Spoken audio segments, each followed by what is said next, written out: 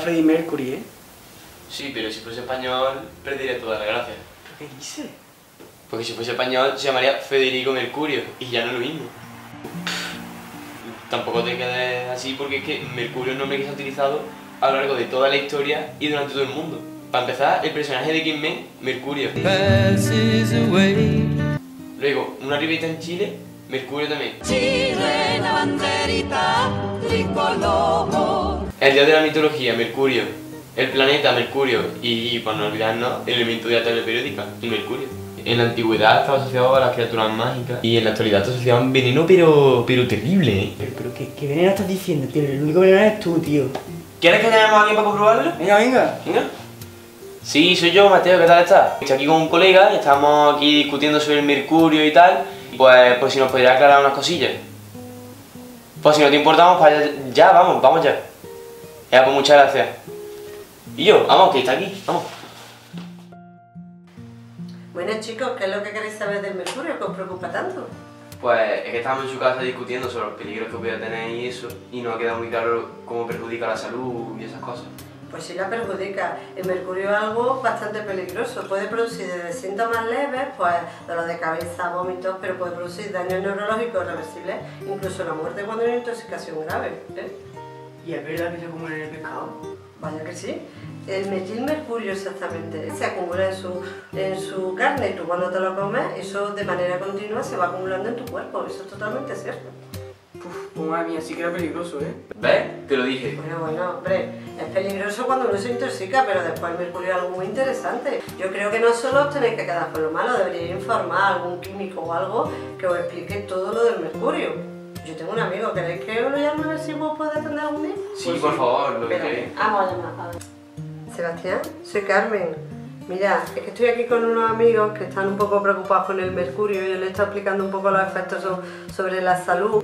A ver si tú le podrías, desde tu punto de vista químico, informarle más. ¿De verdad que no te viene mal? Yo ya se lo digo, hasta ahora. Mira, que él trabaja aquí, es químico, trabaja aquí al lado y sé que os puede llegar ahora mismo. Así que, vamos. Hola chicos, Bueno, ¿qué tal? ¿Os estaba esperando? Oye, muchas gracias por atendernos, ¿eh? Encantado. ¿Pero qué es lo que necesitáis saber? Queremos conocer más curiosidades del mercurio como elemento químico. Bueno, pues el mercurio es un elemento que pertenece al grupo de los metales de transición.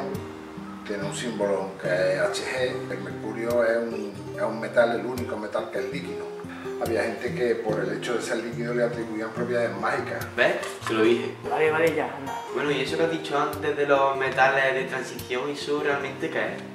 Pues los metales de transición son un conjunto de elementos de carácter metálico que se encuentran dentro de la tabla periódica.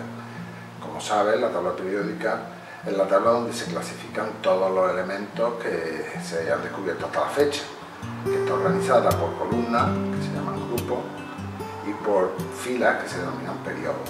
Dentro de esa estructura hay una parte importante, que es la parte central, que es la que se llama la de los metales de transición. Los antiguos le atribuían propiedades mágicas, propiedades curativas, y entonces se ha utilizado en el desarrollo de ungüentos, en el desarrollo de cremas, y en la actualidad pues, se ha utilizado en la fabricación de amalgamas, que son aleaciones de, mercurio con otros metales, y esas amalgamas, por ejemplo, se usan en los empastes dentarios. También se utiliza en la purificación del oro y por el hecho de ser metal y ser líquido se está utilizando en muchas aplicaciones, por ejemplo en conmutadores de mercurio, que son conmutadores que son sensibles al movimiento. Cuando se mueve más o menos hace contacto de hacerlo. ¿no? ¿Qué estabas haciendo por aquí? Bueno, pues aquí estaba preparando una disolución de...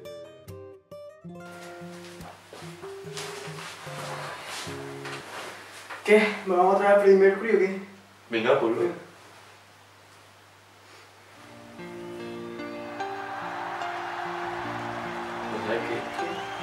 que, si se llamase Federico Mercurio, me seguiría gustando.